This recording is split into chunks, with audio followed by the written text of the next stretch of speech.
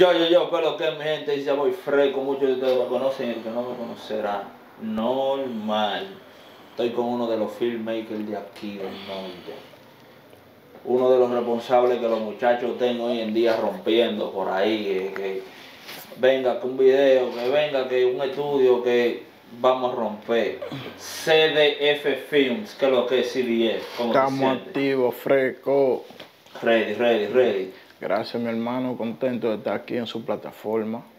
No, tú sabes que esto es tuyo, no se había dado porque uno siempre tiene que organizar una cuanta cosas. Y no, y que demasiado trabajo que uno tiene. Y a veces, coño, cuadramos esta fecha, esta fecha. Pero la Antes de chiste, tú eres uno de los que más trabaja del norte Gra- haciendo videos. Gracias, papá Dios, para que tú veas. Y uno de los que más viaja. Para que tú veas, gracias. Así con nuevos talentos, porque no te voy a decir. Pa' que- Tú quizás tenías tu oportunidad de estar con tu gente grande. Es verdad. de vaina, pero- Pero la mayoría de nuevos talentos, si te das cuenta. Y, y, y tú sabes la diferencia que yo he visto por los nuevos talentos que contigo, que los que se te acercan a ti, no sé por qué, esa es mi opinión de lo que yo veo, los que se te acercan a ti vienen con esa verdadera hambre de trabajar. No te ponen a coger lucha, no te ponen de relajo, ni, ni, ni, ni te ponen a perder tu tiempo. Es un punto bien importante, en verdad, que es un punto bien importante. ¿Qué te hizo meterte a hacer video? No, yo en verdad desde pequeño me ha gustado la foto, lo que es video. Ya la pasión. O sea, sí, ya yo, yo comencé con un celular, me acuerdo, eh, así, dándole pausa, pausándolo, pegándolo, haciendo como relato, dándole salsa, de que sangre a un tipo que lo mocharon, así. sí, Y por ahí arranqué.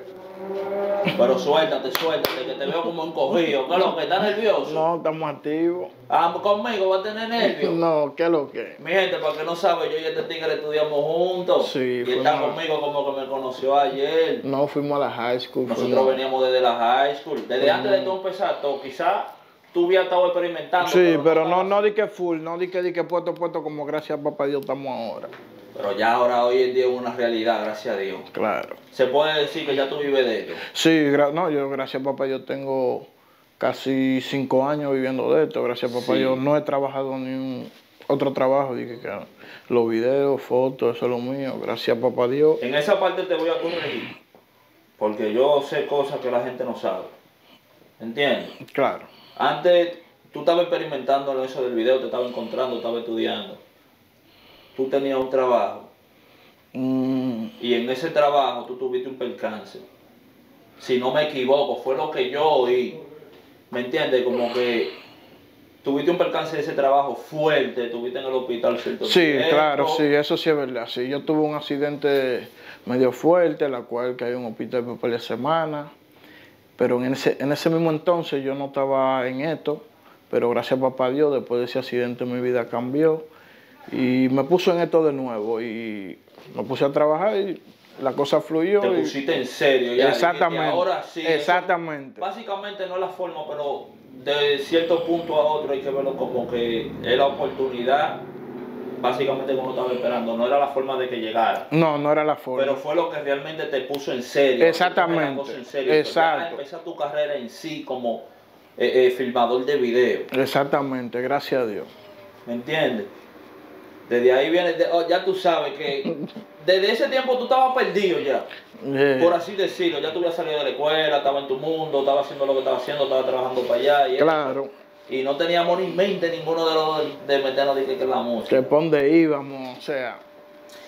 Por ahí, por ahí, de cuando ya to- to- pasaste ese centro de ese problemita que tuviste, vamos a decir de- eh, del norte, ¿quién fue el primer artista que confió en ti? Que te dijo, vamos a darle, Cabo, ahora sí, porque eh, eh, yo te conozco como Cabo Cruz. Hay gente que te conoce como CDF, ya hay mucha trabajo. gente. Sí, sí, el que dijo, coño, Cabo, sí, venga, te estoy viendo trabajando, te veo puesto y te veo con el hambre, vamos a trabajar. ¿Quién fue el primer artista que tú recuerdes, si te acuerdas? Bueno, eh, uno de los primeritos fue en verdad el mismo Candyman, que empecé con él, y Jay Rosé. J. Rosé. Sí, Jay Rosé fue uno de los que primero ¿Dónde me estará dijo, J. Rosé metido? Él viene pronto, hace par de semanas está hablando con él y esa gente... él también tuvo su boom sí. en el norte. No, y que va- vamos, él viene por ahí Aquí pronto. hay gente que no sabe ni historia desde por ahí. oye. Sí, no, él viene pronto cuando digo, la gente va, le va a dar un, ¿cómo te? Exacto. Yeah. un comeback. Hablando de eso, Cabo, del norte, del norte, ya cuando ya tú te posicionaste, que te cogían en serio a ti, tú tenías tu carrera en serio tú, pero ya que te empezaron a ver dijeron, vamos a contratar a fulano, el primer artista ya posicionado, que tú tuviste la oportunidad de trabajar. ¿Cuál Eh, ¿Cómo te explico? No di que están posicionados. Bueno, posicionados para nosotros. Para que- nosotros aquí, que nosotros estamos trabajando. ¿Tú me entiendes? sí. Ejemplo, yo trabajé con Bubu, en verdad Picante Record. Con Le doy la gracia que fue el que me abrió la puerta. Picante Record, grabamos con Bubu, el Maybach el primero. En el Maybach ponemos el Atari de espalda, que lo tire para atrás y anda en falda. Y es más fácil porque por el panty lo bondo me guarda. Mire drip, if I'm driving I'm dirty, I keep that for five on my hip. Después hicimos el Maybach Remy, donde sale Ta- Tapia, Tali y un par de colegas Eso más. fue, eso fue, eso fue de- de- después del fallecimiento de Jota, ¿verdad? No, acuérdate que J sale en ese video. Sí, en el primero. Eh, en el primero y en el en segundo. el lo- J sale bailando en el segundo, que sale con un traje más Sí, sí, creo sí, que sí, sí, sí, sí, sí, me acuerdo. J, en verdad, en verdad, J falleció un año después. Un año Después de ese video, un año después. Ya. Que Dios lo tenga en su gloria. Hoy sabe que Eh, eh, eh, el Boris Maduro del Norte. Ese sí más era duro. Ese sí era duro. Ese sí va a quedar con todo, pero sabe hace su cosa. Uno no puede controlar ciertas cosas. Entonces Claro. sígueme diciendo, eh, eh, eh, empezaste con Bubu. Sí, Vamos a decir que Bubu. abrió la puerta a Picante Record y le Sí, diste con Bubu. exacto, Bubu, después con The Menace, le hice para el video de Menace, después fui al patio, le grabé al Triple Bobo, a Asua, cuando estaba en su apogeo, en su tiempo. Cuando había salido. Sí, exacto, Eh, le grabé a Totón 80, una vez aquí le grabé al Cherry, cuando estaba en su tiempo también. Sí. Sí, un par de cositas así. A Cherry en el, en el estudio de Lincoln le hicimos... El maestro Lin. Ujú. Como tú vienes ya, tú, tú entraste, básicamente tú entraste en buen pie. Claro, no, gracias a que tú Dios. entraste fue rompiendo barreras y vamos a esto, vamos a trabajar. Gracias, papá Dios. Eso es bueno, eso es bueno, eso es bueno. Así mismo como hay gente bacana, hay gente que te dan la mano, hay gente como que te dicen, o te dicen no, como que te demuestran como que sí, tanto, yo sé de ti, pero como que no, no, no voy a trabajar contigo, no, como que no. Como que quieren echar uno, Sí, sí, como te humillar a uno. menos, sí. Claro, claro, han visto mucha gente que han querido trompezar, o sea, trompezar loco para que se carga, pero yo por nadie me dejo caer. En verdad, yo una vez estuve grabando un behind the scene que un artista me invitó, me acuerdo yo, y el chamaco, como te digo, como que no me quería dejar Fluir. exacto, boom, y en verdad eso fue un conflicto que nunca lo voy a olvidar y siempre lo voy a tener ahí, ¿me Ese fue uno de, los, una- uno, uno de los procesos de la música que marcó, que marcó en Exactamente, ti. exacto. ¿A qué se debe de que los artistas que, por lo menos yo, que yo veo tu trabajo, puedo decir que los artistas que a ti llegan donde ti, son artistas, como te había dicho antes, que tienen hambre, que vienen en trabajo. Sí, que son, son nuevos talentos, son gente que, Sí, ¿cómo te explico? Nadie lo conoce a ellos.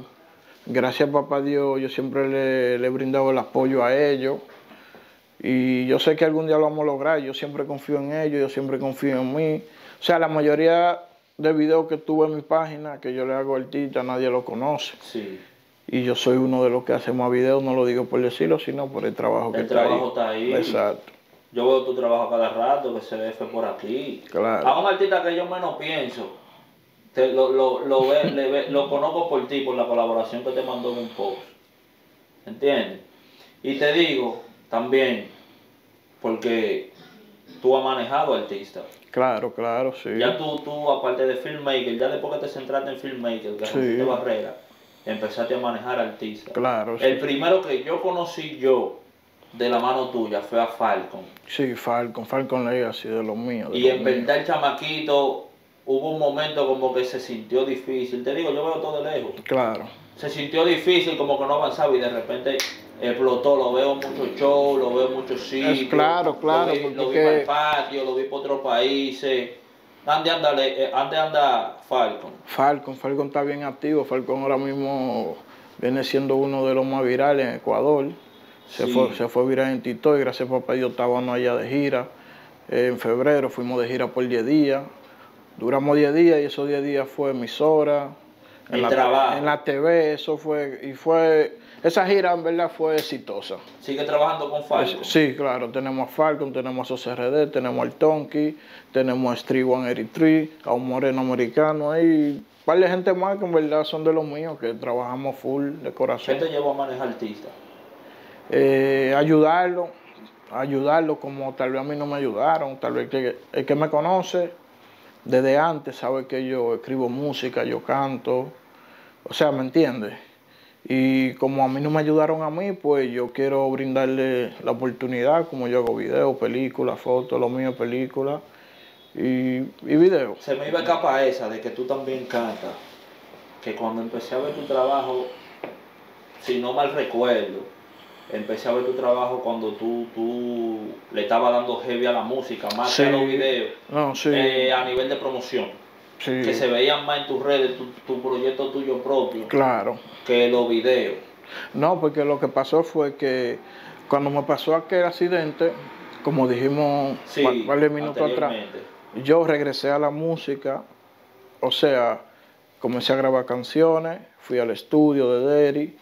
No comencé con los videos porque tenía que comprar cámara, lo que computadores. Estamos pasando el centro económico. Exacto, yo lo que agarré, grabé un par de canciones para ver si uno se podía pegar. Tú sabes, uno, Sí. uno con sueño, digo, déjame grabar un par de canciones. Cuando grabé como tres canciones, le hice video, le pagué video a un pana mío por ahí para que me hiciera los videos. Sí. Cuando yo vi que él está bien, no sucedió nada, por lo menos tengo tres videos en YouTube, corrieron bien. Que vamos ahora a trabajar para la computadora y a trabajar para la cámara. Sí, sí, si ahí- lo vemos, si lo vemos, si lo vemos, si lo vemos un poquito más para allá, eso te sumó mucho porque te hace trayectoria, te, Sí, te claro. está haciendo, te está haciendo un camino, ¿me Sí, claro, La claro. gente que entra a tu- a tu YouTube puede ver diferentes cosas. Sí, eso sí. ¿Qué ha sido más difícil, cantar o hacer video? En verdad cantar, porque la verdad la competencia está más saturada. Demasiado grande. está más saturada que nunca, demasiada gente cantando, eh, ya para cualquier persona, cualquier fanático, cualquier don, doña en la calle ya se lo encuentra normal que vea a un chamaco cantando, ok, ya se canta, pero ya antes, tú cantas, está heavy. sí, antes se sorprendía y decía, shit, mira, un chamaco tiene talento, pues, pero Eso ya- no, eso, no, eso no puede pasar también porque mayormente, lamentablemente, se parecen mucho. sí, sí, eso sí, se Antes podían ver la diferencia, al, al no verse tanto, se puede decir, oh, mira, qué bien le mete. claro, la lo diferencia, hace, el delivery. Antes no se, no se conocía así, pero el punchline y eso. Exactamente. Tú sabes que al final del día, ejemplo, un artista se agarra del otro, o sea, me explico. El trato, el que canta atrás se escucha igual, tú lo sabes, todo el que canta Tiene reggaetón. cierto punto que sí. O sea, ¿me entiendes? Como que es como una rama Sí, que se sí, van sí. guiando de ahí. Y eso es así. Eh, eh, fue más difícil cantar. Sí, sí, por la ¿Qué te hizo saturación. entender de que por ahí no era y era en el video? Eh, Porque está bien, tú puedes seguir tratando, suelta una música de vez en cuando, pero lo que más tú trabajas son los videos.